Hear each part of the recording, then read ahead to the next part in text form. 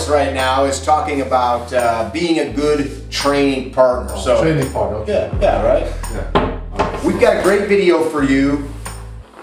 If you do jujitsu or other martial arts, this will apply, but really it applies to any any type of endeavor where humans need to interact with each other.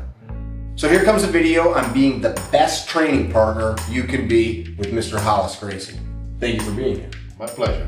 All right, so where does somebody begin developing the skills of being the best training partner ever? And what is one? What's that? Yeah, it's um, it's not an easy job, right? Uh, I feel that like being a good training partner, uh, it's not a good job because not a not an easy job because um, you might get very easily you can get like two ends in, of, of the spectrum that we're gonna talk about here. That um, and we're gonna start when it comes to drilling, right? We martial arts, jiu-jitsu we need a training partner to to drill. Like some people say, oh, jiu-jitsu is like a solo sport. It's not. It's more of a team sport than anything, right? You need training partners. And you need a multitude of them that have different skills and body types. and- Exactly. So the more the merrier, yeah. right? Kind of like that party Kanan went to that one time at spring break and he got the crabs. Oh, hit already. Yeah. One hell of a party, huh? Keep going. That was a joke. Um, so I mean, sometimes we let's. I would like to start, you know, with like a guy who you know he's so worried that he's not that he's gonna um, try to mimic uh, a real life scenario when you're drilling that he might put so much energy and strength and resistance that it gets really hard for somebody to that maybe they never seen that move. I may have been called 110 Mick by some guys at our gym before, meaning like 110% all the time. Yeah. So I've had to learn that. Yeah, and it's I mean those those skills you learn too. Right? Sometimes you don't know better. It's not that uh, we're bad people. That, oh man, I want to be an asshole to my no. Sometimes you don't know better, right? And to learn a new skill, a new skill with a high level of resistance, you know, it's very challenging. Be like going to the shooting range like we were at today and doing some really complicated drill that Yeah. you've never done and not even know how to shoot a gun. Or starting with the with the with the target like far away. Sure. You know, I need to start. You never shot a gun, but Never shot a gun, yeah, but shoot that thing at 100 yards. and do it in a second. You know, Yeah. so we started from like easier and we progress. So same thing with uh, with uh, drilling, right? Uh, less resistance, uh, then more. But then you gotta. I say it's hard because if you go all the way to the other side of the spectrum, you just have like a somebody like a, ragdoll. Yeah, yeah, Okay, do the move on me. Easy. Easy. you know so you're gonna have a hard time so you gotta learn you gotta and sometimes when we have the same and I see that happen a lot like guys that usually like to drill they roll live a lot of people but they usually like to drill the same guys because they, they almost they get in sync so it's almost like uh, when I start a class and then I go like drilling time or stuff it's almost like the same partners every time and sometimes they work together so much that sometimes I have to break them. Okay, now you go work with you know. I I, Sure. I mix it up so they can get like a different uh, body type, but uh, it's important to put the, the you know put your body because jiu-jitsu uh, a lot of time when we teach technique it's like a scenario based, right? You're here, you're trying to do this because the guy is doing that. Uh, you know, you're trying to pass the guard this way because the guy is doing a spider guard. Let's say we talk about spider guard today, right? So the guy has a spider guard on you. This is how you put you get rid of the spider guard hooks. But the guy is like not putting all of emphasis on the spider guard, or it's just like doesn't get as realistic. So that's on the drilling part, you know. So you need to place yourself in the right spot, understand the resistance uh, that you need to put. I'm not a, a huge fan of. Okay, now now you know. So I'm gonna be, I'm gonna resist. I'm gonna go 100% resistance uh, to see if you can do it. But sometimes you change a little thing, the scenario. You talk about, you know, the scenario change completely, right? You know, like sometimes you have an elbow here, then you just do this, boom, gotta change. So I'm not a big fan of resisting when it comes to drilling. Mm-hmm. Right? There's drilling, and then you go live. you know, then we try live because you can combine the moves, you can set up. And then going live to me is the same thing, right? I want to give my partner the most resistance that he can handle And still be learning. and still be learning, Yeah. right? We're not fighting each other, right? It's like, let's say, you know, and even if I'm, uh, you know, I'm, uh, let's say I'm, uh, have more experience, higher belt, heavier, and I'm gonna train with somebody lighter, lower rank, there's like even, even more tired than I am. Do I need to kick their asses like, you know, through like the whole five, six, ten minutes? Yeah. You know, finish them as much time, as many times as I can.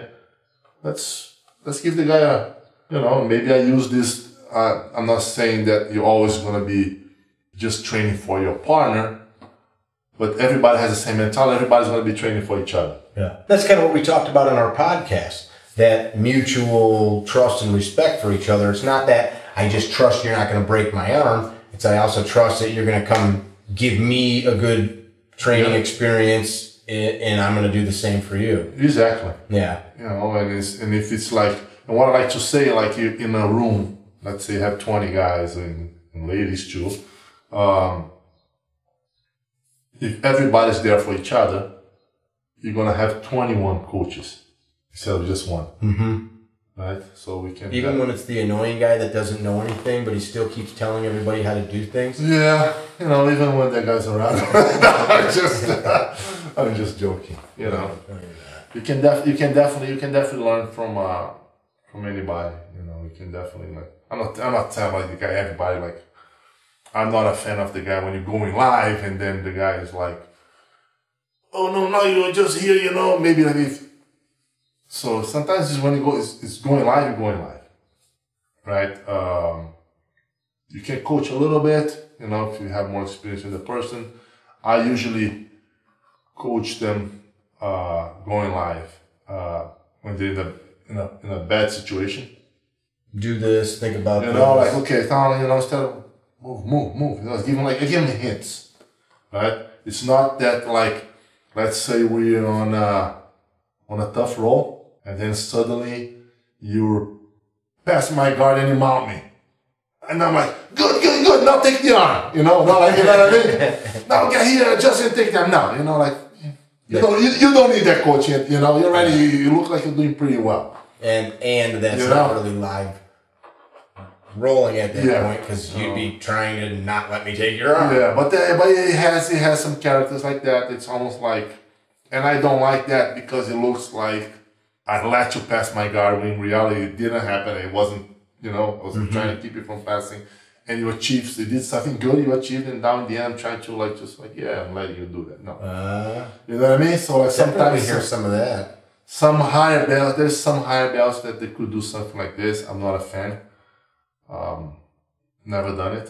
If I, if you ever catch me doing something like this, you can have permission to get the bow staff and crack uh, my skull open. That's pretty heavy. I mean, he literally just told me I could potentially murder him if he did like a slight infraction at the gym. That's that's pretty Yeah. pretty serious punishment. Rolles. Yeah. Well, you know, it's it's serious. It's a serious infraction.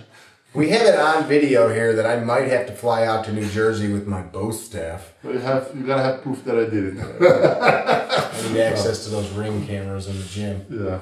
So the reason this is so important to have good training partners, we if we're going to get the most out of the material and the training experience, but then there's negative outcomes too. Injuries, Yeah.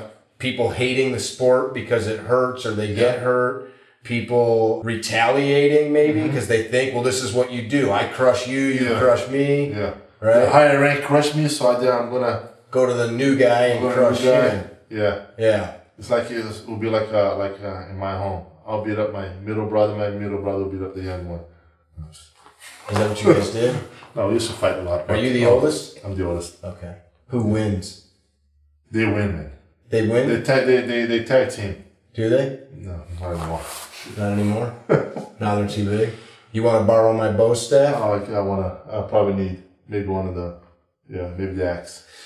I think this is a great discussion point, though, for any training program. Kanan, who's off camera, has heard me give the speech in our training classes. We talk about martial arts because to me, the gun is a martial art, the study of it. Mm-hmm. And people should approach it from the perspective of even though I'm here by myself shooting, everybody else on the line to get a good outcome, we all have to be good training partners. Yes. And yeah, they need to be good training partners for each other, which can mean so many things. Like on a firearms training program, it could be showing up on time, not mm-hmm. not talking while somebody else is, not of course not being unsafe, uh, making sure that you've got all the crap you need so that we don't have to stop for you to run back to your car five times because there's always two of those people, and then it, it, it not just the flow of training, but are you the guy that's injecting information that's not necessary and superfluous and not helping us get to the destination? So I think it's the same kind of a yes. thing,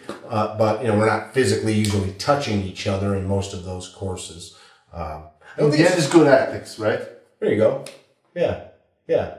Being being a good adult about it, looking for the same goals. Yeah, yeah. In some gyms or training academies they have cultures in them, right? And some of them are like all about me, like I'm just I'm here for me. Yeah. And some of them you can tell that people care about each other. Yeah, you know, I think it's it's nice to be in a, in a place where everybody cares about each other. Sure. I dig that. That's what I like most about this. Um, I barely know you, feel like old friends. We're sitting here barefoot on the mat. Yeah. You were just on top of me. Uh, you uh, threatened me with my own bow staff. Yeah. Gave me permission to brain you with yeah. it. That's, yeah. So, Rolles, we talked about a bunch of stuff about being a good training partner and not being a poor training partner. Some key takeaways for folks that they can keep in mind when they're training at the gym or at the range uh, to be a good quality training partner. Yeah, I feel that like uh, two key things there will be, you know, know the the right amount of resistance you should put uh, for whether when you're drilling or when you're going live, right? And uh, two, I think understand the limitations of your knowing and understand the limitation of your, your, your partner. So that would require communication. Yeah. Hey man, is that enough or is that too much? Yeah. You want a little more or a little less? Should I back it off? Am yeah. I being too rough? Exactly. Right. And then the other side too, like if uh, if you're the if you're the guy that you're doing a a, a, a, a move or, or practicing a technique with somebody that you feel that like just putting too much resistance or none, you can say, hey, you know what, they're like, you know, relax here a little bit more. It's, I'm having a hard time doing like with, you know. Something I hear there is requires the practitioner to bury their ego. Because yeah. I don't want to be a pussy and be like, hey, Rolles, you're being really hard on me. Can you, I mean, I want you to think I can handle it, so I don't mm. want to say that. When yeah. in reality, now I'm just getting getting crushed or smashed, and I'm not getting the the results. So we got yeah. Yeah, going live is, is always harder to do that, right? Hey man, slow down, you know, like yeah, you can always have the the tool to tap us, but drilling, drilling is uh, uh is very important. Like you know, like put us like more live here, you know, maybe like this too stiff. You know, let me just mm-hmm. go through this one time or a couple of times without that much energy. I dig it. I hope you guys dug it we're happy to have Mr. Rolles Gracie out from Rolles Gracie Academy in what city in New Jersey again? Old Bridge, New Jersey. Old Bridge, New Jersey. He also still trains with his cousin Renzo uh, at the academy in New Jersey as well from time to yeah, time. Yeah, I teach there a uh, couple couple nights a week. Very cool. Hope you guys dug this video. Check him out on Instagram. Give him a follow. Tell somebody you love them. Don't be dickheads. And if you're going to train, be a good freaking partner for Pete's sakes.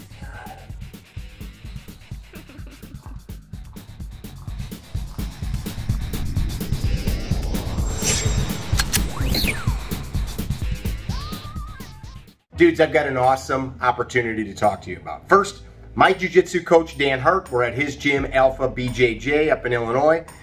He's doing a camp in Tamarindo, Costa Rica, and I want him to tell you about it, and then we got something special to offer you. So guys, December 16th to 20th, I'm running a Jiu-Jitsu camp down in Tamarindo at Hero Academy. You can sign up for it, it's $9.99. It's five days of training. That includes your hotel, breakfast every day by a chef, sunset cruise, custom rash guard, and shorts. Um, Hero Academy is a non-profit gym that my friend Ron Jarman runs. They provide training for local kids at no cost. They get uniforms for them. They do all kinds of community outreach that they have these kids help do, donating food during COVID, all kinds of great stuff. 100% of the proceeds from my camp are going to be going to Hero Academy. We're not making a dollar off of it. People can sign up and come, like Kanan and I, who are behind the camera, we're gonna go train. But then people are gonna maybe win something. What Yeah, so Mick and I teamed up together and decided we want to give away a spot, help raise some extra funds for Hero, also give you guys a chance to win a trip. So for every $50 you donate to Hero Academy, you get one entry. One month out from the camp, Mick and I will get together, do a live or however we do it. We'll draw a name. Somebody's going to win a free trip. Not only that, Mick and I agreed we're going to split your airfare up to 750 bucks. So the whole trip is on us. All you have to do to sign up is follow me on Instagram, follow Mick on Instagram, follow Hero Academy, and tag three of your friends that you think would be interested. We'll drop all the links for that down below. Literally, for 50 bucks, you could win an amazing vacation. If you do jujitsu, you're gonna come train your butt off. It's gonna be awesome. You'll meet people that you'll make friends with for the rest of your life. Amazing sunsets, monkeys and trees, $20 massages on the beach. What's not to love? Follow the links. Check it out. Help some kids get fit, go on vacation, meet strangers on the beach, make bad decisions, hang out with us. It's gonna be awesome.